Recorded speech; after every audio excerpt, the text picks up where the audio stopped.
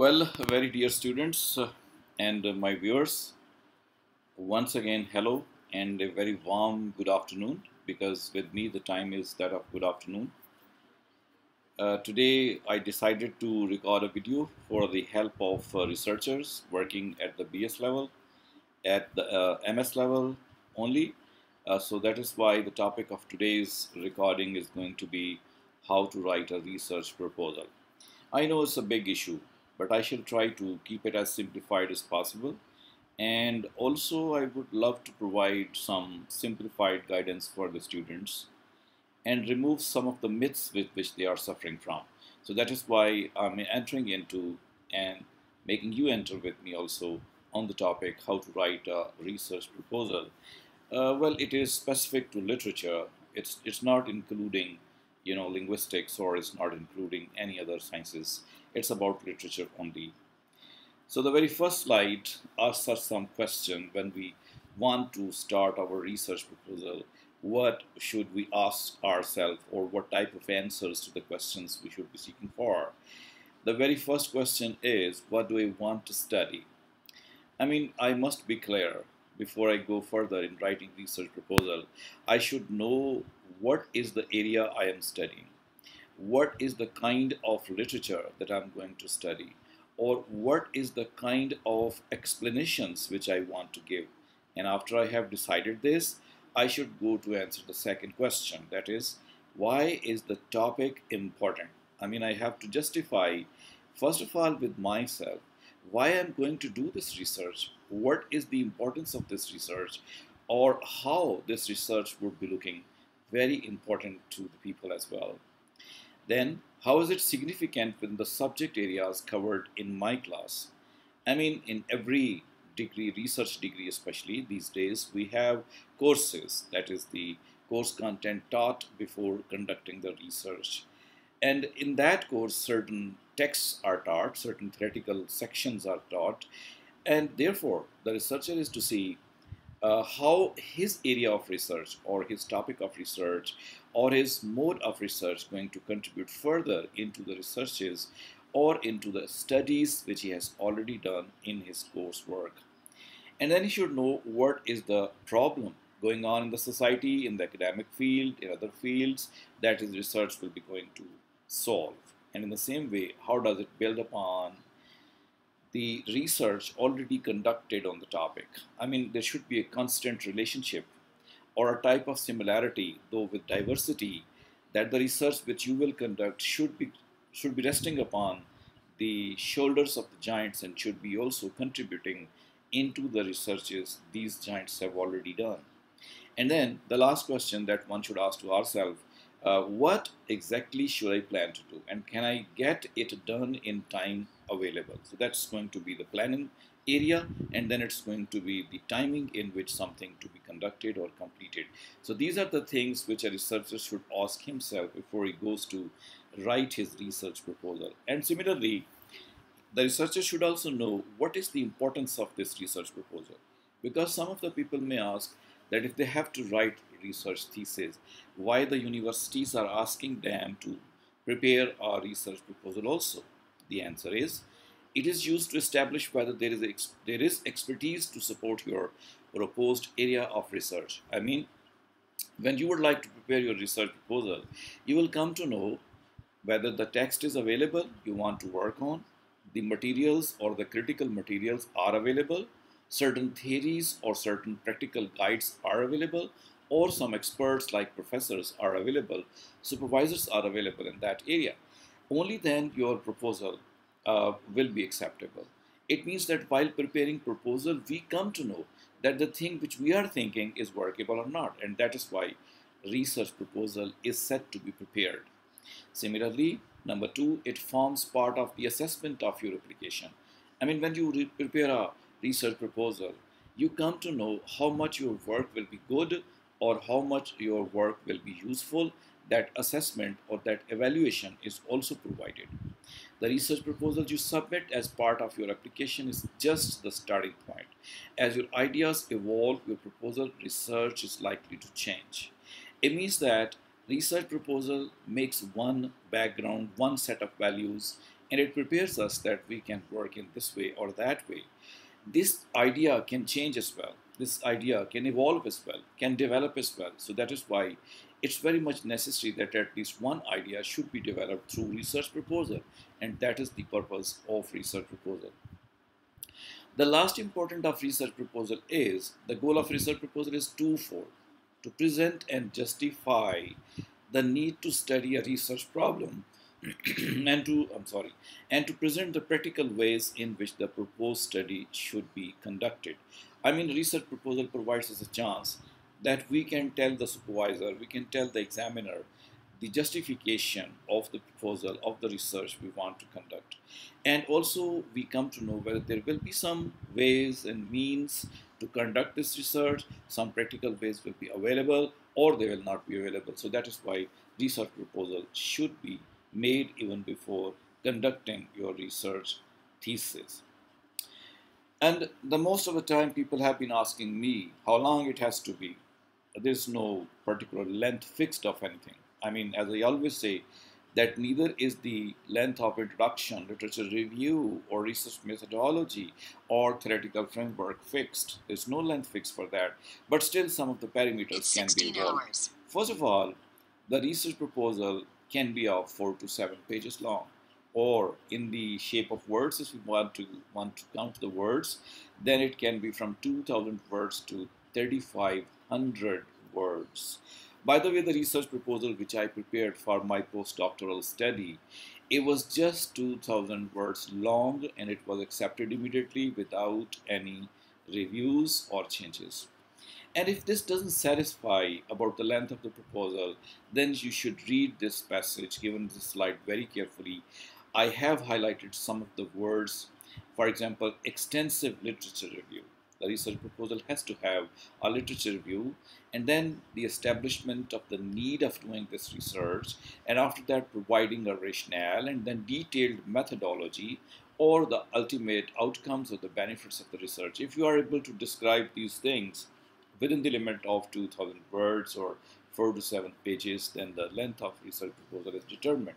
So it's not necessary to think about the length. It's necessary that you should try to cover these areas that will justify the length of research proposal. Now to start with research proposal, the real goal is that we must think three basics of research proposal. The first is, what do you plan to accomplish? I mean, we have to be very clear and we should know what is the research problem that we are going to answer. What is the research question that we are going to reply with? This is the very thing that should come first of all I mean, we should decide what are we going to do. And then, secondly, why do you want to do the research? I mean, the reason. What was the necessity of considering a particular question? What was the necessity or what is the necessity to take up a particular text or take up a particular theory? What's the reason behind that socially, politically, literally? what will be the benefit of doing all this thing? This should be the why of the research, and then comes the how. How are you going to do that? I mean, what is the kind of methodology? Whether the research will be doable or not, how you will investigate all that, and how you will be able to present your results and your findings as well. It means that every research proposal should be consisting of at least these three basic concepts of research. The what of the research, why of the research, and the how of the research. Then, of course, uh, you write the title of the research and introduction begins.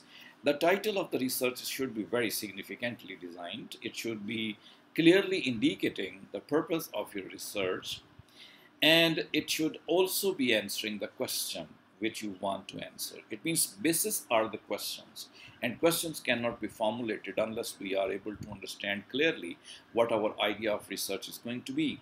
Well, my students always ask, what should be my topic of research? So that is not going to be the first thing. The first thing is to understand the question you want to ask, the type of research you want to conduct, the already available material you want to conserve. And after that, all these things combine together in order to formulate a title. And when you are formulating your title, definitely you need to write the introduction. Normally, introduction should have these three, four things. For example, background and the issues of your proposed research. I mean, you should mention, you should mention, or you should know at least what has been happening in research in your area, uh, uh, which you are going to do in your area. What were the issues people mostly discussed, and what is the new issue you want to discuss? Identify your discipline. I mean, in introduction, you have to write what is the area you have taken up. Is it post-colonial literature area? Is it going to be South Asian literature? Is it English literature? Is it American literature? Is it post-war literature? Is it post-modern literature? Or what type of discipline you have taken in order to start with? Similarly, you can also talk about poetry or you can talk about the theater studies as well, even movie studies. And then you should write a short literature review this is very difficult area to do so. Rather, it's a more intelligent area to do so. And for this purpose, the researchers should read different aspects of uh, literature review and different ways of formulating literature review. I have already recorded some of the views about literature review. Uh, the students can take a little pain by watching these videos and then the possibility of writing of literature reviews there. Not only these three things, but also we need to give a debate. Uh, we need to give a detail of the of the debate uh, about the researches, about the theories which are going on, and how people have done so far. If these things are present in our introduction, it is complete. And how these things are done. For example, first of all, state the research problem. I mean, what is going on because of which you have decided to do this research? Explain it very well. Then present the rationale, the reason of your research, and indicate very well why are you going to do that? What will be the benefit of that? And what prompted you to do so? I mean, what is significant in your research because of which you think it's worth doing? That thing should be mentioned by you in the second part of your introduction. Then you should discuss major issues and problems of the field which are going on. And you can mention here some of the people who have addressed to these problems. And know you are going to address the question, particular question of the problems and that is what you need to mention the part of second of the of the introduction. Then you should explain the methods key sources how they will contribute to your analysis of the topic. I mean first look for the sources which are available. Uh, the sources mean the, the web pages, the books, or the, uh, you can say the digital books also, or it can be the researches, the thesis, or the repositories, as our HEC has a very good repository, or the university libraries, for example, they may be having. You must mention that these sources are available, or at least indicate or find out where the sources are, and then try to explain what methodology you are going to use in your introduction, how you are going to conduct the research delimitation area, that is the boundaries of the area. I mean, you need to mention what you plan to study and what you need to exclude. There are two ways to do so. Sometime a writer has written 20 books and we find that our research may be only related to five books according to the question or three books or even one book. That is the delimitation. Remaining ones we don't need to study in order to answer our question. And same is the case with the, for example, sometime we have the similar ideas being discussed in poetry as well as in drama or in fiction, we can also there talk about which, which part of literature, which part of genre we shall be taking and which part we shall be excluding. And where we shall remain and where we shall go, that's what we are going to describe about. Then if some terminology is difficult in our a study that we may be providing interpretation of that concepts and terminology as well. This is the second part of the introduction, what it should include. In the third part of the introduction, these things should be talked about. What is the central research problem? I mean, we should explain what is our research problem that we are working on. What is the topic of study related to that research problem? We our topic and our problem, how they are related with each other, But methods will be used in order to analyze the research problem, I mean how the analysis will be taking place, why is this important research, what is its significance? And why should someone reading the proposal care about? That should also be justified in the ending portion of introduction of the research proposal. And after that, we will be writing certain other things. But before that, we should know what are the cares we can take in order to write a literature review and even the research proposal. In both cases, five C's are quite workable. For example, first of all, when you are writing a research proposal or when you are writing a literature review, at that time, you must cite very carefully and always cite. I mean, who is the writer you are using? What is the opinion of that writer you are using? And how that opinion is going to be very useful for your research.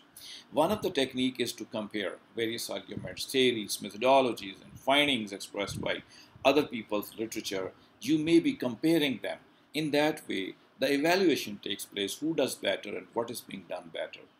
And you should also try to mention which authors, which theorists or researchers are going to agree on one specific problem and which type of approaches for analysis they have been using and the same you will be using. You can also use the contrasting technique. I mean, you should mention how the arguments being used by you, how the themes, how the approaches mentioned by different research scholars before you, how they are opposite to each other, how they agree or how they disagree. This is the way to prepare literature review and then of course literature review is going to be part of your research proposal so it can be said about research proposal as well. Some of the critique of literature should also be given but this critique of literature does not mean that you will be discussing your primary source or primary text. it actually means which arguments are more persuasive. I mean, you need to find out some of the arguments uh, given by different authors and then evaluate them whether which one is good and which one is not that good. Then which approaches, finding methodologies seem most reliable, valid, appropriate, and why. Mention some of the methods or the things used by the other people, and you can also say that this is good and this is not good. Attention to the verbs you are using to describe what an author says. For example, when you use the verb describe, it has a different meaning narrate, it has got a different meaning. Evolve has got a different meaning, though for some time uh, we have the similar type of words and similar type of meaning. But then the verbs should be very carefully used. Okay, then it's the connection that you need to establish in your area. I mean, if you're writing a literature review, in the end of that, you need to mention how that literature review, how the ideas, how the themes, or how the theories and the findings of other people are relevant to your work and how you will be able to synthesize it into, into your own research. In that way, you can prepare a better literature review, you can prepare a better research proposal. Research questions are really very important and according to our title, the research question should be formulated, uh, although we have a main question in our mind in the shape of research problem, but then it has to be divided into certain parts. For example, we can design one question that we are going to explore such and such thing. I mean, it's very much relevant to the topic. For example, if somebody has got the radical feminism in this topic, we can say, I'm going to explore in the text, in, in the writing of someone, whoever the writer is, how it is present there, and then uh, how the writer has portrayed that, whether through language, whether through theme, or through imagery, or through some uh, similes, or through some other means, how has the writer presented it. Same is the case with the, what do you understand out of that? I mean, this question also can be asked by you, and how much the author is similar or different with the other people, that can also be the part of research questions. But the first one is main and the remaining questions can be the auxiliary questions. So this is what you need to ask in your research question. And uh, I'm sorry to say, but most of the time in my country, some people even don't know how to design a question. They would write a question, but they would give the format of a positive thing. And they would not take the things explained. So one should go to the title, and then to the literature review that one has developed and the problem statement. And after that think about writing a question write three four times then you will be able to understand are you representing or is your question representing everything which you want to do? Only then the question will be complete. So be careful in designing your research question because research question is the thing which will determine your direction, which will say where to go and where not to go. In that way, it will provide you a chance to remain focused. So that is why the research question should be designed very carefully. Uh, then after research question, your research proposal should mention some methodology. I mean, what are you going to do in order to conduct your research? For example, which theoretical sources you will be using, uh, which research approach you will be using, qualitative or quantitative, that's a research approach, that's not a research method. And then what research method you are going to use. I mean, will it be a content analysis, will it be a thematic analysis, will it be a contrapuntal analysis, or it will be a library research, or what type of other things you are going to employ. Uh, in qualitative research, we do have number of other issues as well. So you need to describe as well what appropriate method you will be using. And then you will be discussing the advantages as well as the limitations of the particular approach of the method, but whatever is useful for you, you will be using by describing the research methodology. So in this way, four parts of the research proposal are covered. Let's go to the fifth part. It's rather the fifth part people mostly don't describe, but it's very much necessary. Uh, you need to mention uh, what are the uh, topics of your research or the chapters of your research and what you're going to do in those chapters and what time you will be using for that. When a full-time study, your research should be completed within three years. I mean, it can be applied to PhD or it can be applied to a longer research project which may be completing in three years. So three years should be divided. I mean, uh, what time you are going to use for writing a literature review, what time you are going to use for collecting data, and then what time you are going to use in order to, uh, you know, analyze your data, and then how much time you will take in, in writing the findings and the conclusions.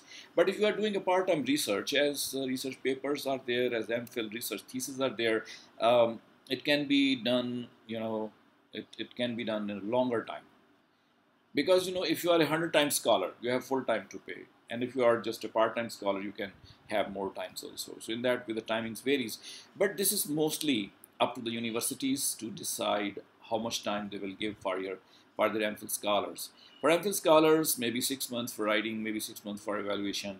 That's an ideal time, but nobody is able to complete that. For PhD, it may be seven years or 10 years, along with the coursework conducted and completion of the research, uh, everything like that is within seven years.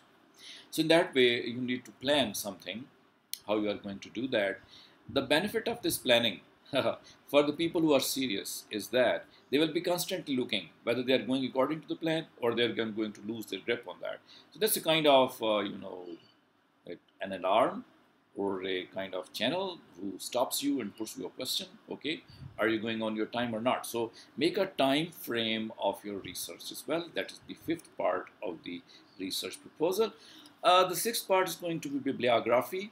Bibliography is the references as well as the, you know, uh, bibliography, we can say references are uh, only uh, for those articles in text or the books which we have really quoted. These are said to be the references. And then sometimes we don't quote, we just read and uh, we put the idea there. Uh, and if you have used any of the books or articles for that purpose without giving reference about them, or, you don't want to give a direct quotation from them, it's simply the opinion you have taken. Here you can mention these books also. So these would be called as the uh, you know, bibliography. So this is all about the research proposal. And uh, in the end of all that, this uh, the up to the slide uh, up to point number six, it was uh, slide number 13 actually. It was all what should be inside the research proposal. And next comes uh, which are the mistakes which can make our research proposal very bad. And we could be suffering because again the supervisors will ask to prepare and our time will be wasted, our energy will be wasted. So in that way you can come up with the the idea what things you should be avoiding i mean if you are not concise you are rambling here and there wandering here and there definitely uh, there will be a problem with you and you won't be able to conduct it so we should be concise all the time we should all the time cite references without the references uh, we may be having a trouble in order to keep focused, in order to keep grounded our research, we need to keep on giving references and giving talking about the landmarks of that area as well, important things of that area as well. If we don't do so, our research proposal is weak one. We need to delimit our boundaries also. From the very first day, we should think which thing we are going to talk about and which thing we are not going to talk about. So if we do not do so, we will be rambling and wandering again. Our research will be bad. That is why this is the third failure we should avoid. Then comes the fourth failure failure to develop a coherent and persuasive argument. This is something very unique which possibly my students may not be understanding. I can give you one idea for that. For example, if I go into my class and I have to teach five chapters of a novel to my class, there may be multiple things in those five chapters. Could be themes, could be characters, could be plot as well, could be about the biography of the writer, anything could be there. But if I tell my students that I shall be teaching to them through these five chapters only the character of the villain or that of the protagonist, and in that way they will also remain focused on that and i will also remain focused on that as a result all in all those five chapters only those things will be read out which will be supportive to the idea whether the hero is good or bad or the villain is good or bad so I will not be talking about the plot. And even if I talk, I will talk only with reference to the hero's good and bad. So in that way, we must know how our things can go coherent. The idea or the question or the problem which you have highlighted in the beginning of introduction of your research, it should be present in each and every paragraph. Maybe it is literature review, maybe it's methodology, maybe it's a theoretical framework. Everywhere, the same problem, same question should be visible, not in the written form, but behind the lines that this is the thing you are going to do. And that will be a coherent and persuasive type of argument. If you don't do so, your research proposal is a failure. Then it is sloppy or imprecise writing or poor grammar. Definitely, I don't talk about that. You know, viewers and students, you know very well, grammatically wrong things do not pay very much. And the attention goes to that instead of going to your work. So that is why you must uh, run a very good grammar check. And uh, you should also take help from the tool which is these days available on internet. Many tools are available. Grammarly i have listened from my other students uh, that it goes very well so grammatically uh, typos other mistakes should not be there because it could be also one of the failing components of your research proposal too much details on minor issues, but not enough details on major issues. That's something one student, student should be very careful of. For example, if you think your search has, this is the major thing, major question you are talking about, that thing should be explained in detail. But if certain minor things are there, you shouldn't pay much attention to that. For example, as in research proposal, literature review needs maximum of your attention. More attention should be paid to that. More writing should be done about that. But the other areas like uh, what's going to be research methodology or what's going to be the you know theoretical framework or delimitations, the, the kind of explanation is not required. It could be described in, in, in brief manner. So in that way, uh, attention should be paid where it is necessary. So these things should be avoided. These are, I think, uh, three these things are here and three things are here. Six things should be avoided in order to make your research proposal a failure. And here we reach to the end. Thank you very much, folks, for watching all this. I hope something has contributed to you, something you have learned out of that. And because you have learned, because you have found it interesting, I presume, do not fail to click the subscribe button. And yes, you can highlight your questions on YouTube comment section or even in the Facebook comment section. You can uh, comment on this, this way of preparing research proposal or you can suggest me even to make it better. So thank you very much for all that and once again, good afternoon.